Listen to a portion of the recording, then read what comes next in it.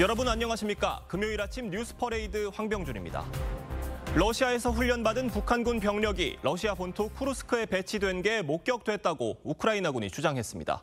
북한 병사들에겐 탄약과 방한복, 침구류 등이 지급됐다고 설명했는데 이에 대해 푸틴 러시아 대통령은 북한과 무엇을 어떻게 할지는 알아서 할 일이라고 처음 언급했습니다. 변재영 기자입니다. 우크라이나 국경에서 80여 킬로미터 떨어진 러시아 쿠르스크주. 8월 6일 우크라이나가 러시아 영토로 진격해 점령 중인 곳으로 가장 격렬한 전투가 벌어지는 지역입니다. 러시아에서 훈련받은 북한군 첫 번째 병력이 이 지역에 배치된 것이 23일 목격됐다고 우크라이나군이 주장했습니다.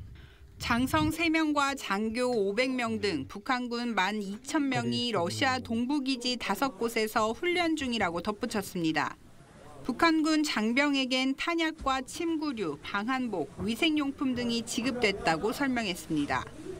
푸틴 러시아 대통령은 북한군 파병 보도와 관련해 명백히 부인하지 않으면서 북한과 무엇을 할지는 알아서 할 일이라고 말했습니다. э, северокорейское руководство относится к нашим договоренностям э, серьезно. А, Но э, что и как мы будем делать, это уже наше дело. Мы в контакте с нашими 푸틴 대통령이 북한군 파병과 관련해 언급한 것은 처음입니다. 영국의 한 전문가는 북한군 배치가 러시아의 쿠르스크 탈환에 도움이 될 것이라고 전망했습니다.